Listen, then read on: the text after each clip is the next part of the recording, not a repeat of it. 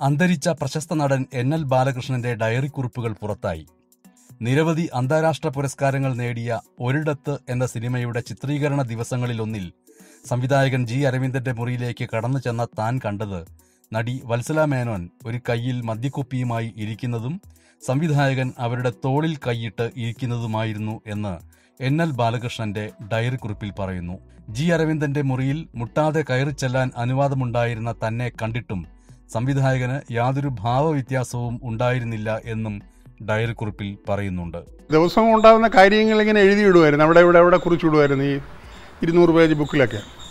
അത് കഴിഞ്ഞിട്ട് പിന്നെ ഡയറിയിൽ അങ്ങനെ ഇപ്പോൾ ഒരു നാൽപ്പത്തി നാല് വർഷത്തോളം ഉള്ള ഡെയിലി ഡയറി എല്ലാ ദിവസവും ഡയറി എഴുതിയിട്ട് കിടക്കുള്ളൂ. അങ്ങനെ ഒരിടത്തിന്റെ ഡയറി കുറിപ്പ് മുഴുക്കൻ ഞാൻ എഴുതി. അപ്പോൾ അരവിന്ദേട്ടനെ ചോദിച്ചു അരവിന്ദേട്ടൻ റൂമിൽ ഉണ്ടെന്ന്. അപ്പോൾ അങ്ങേരെ മുറി നോക്കിയാതെ കയറി ചിലവുള്ള ഇതുണ്ട് എനിക്ക്. ഞാൻ ചെന്ന് അരവിന്ദേട്ടൻ നമ്മളെ യാത്ര പറയണമെന്ന്. ഞങ്ങൾ ഇത് അന്ന് രണ്ട് മണിക്ക് ഈ വേണാട് എക്സ്പ്രസ് അവിടെ നിന്ന് എറണാകുളത്തായിരുന്നല്ലോ വേണാട്. അത് ഷൊണ്ണൂരേക്ക് മാറ്റിയ സമയം. അതൊക്കെ എഴുതിയിട്ടുണ്ട് ഇതിനകത്ത്. ആ സമയത്താണ് മാറ്റുന്നത്.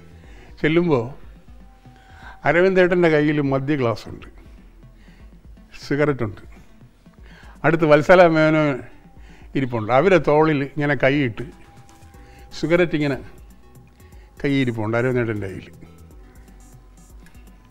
വത്സല മേനോന്റെ കയ്യിലും കുപ്പിയുണ്ട്. ഇങ്ങനെ കൈയിട്ട് ഇങ്ങനെ ഞാൻ ഒരു ഭാവ വ്യത്യാസമില്ലാതെ എന്റെ ചോദിച്ചു എന്താ പാല ചോദിച്ചു. എന്ത് പാല മാറുന്ന ഭാവ വ്യത്യാസമൊന്നുമില്ല. അത് ഞാൻ എഴുതിയിട്ടുണ്ട്. അദ്ദേഹത്തിന് ഒരു ഭാവ വ്യത്യാസം ഉണ്ടായില്ല.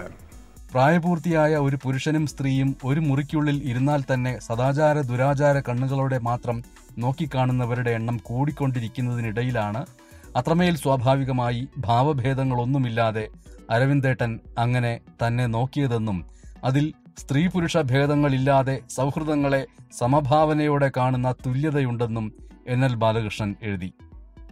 മലയാള സിനിമയിലെ നിരവധി താരങ്ങളെയും സംവിധായകരെയും അവരുടെ പ്രവൃത്തികളെയും കുറിച്ചുള്ള ധാരാളം പരാമർശങ്ങളാണ് ഡയറി കുറിപ്പുകളിൽ ഇനിയും ബാക്കിയുള്ളത്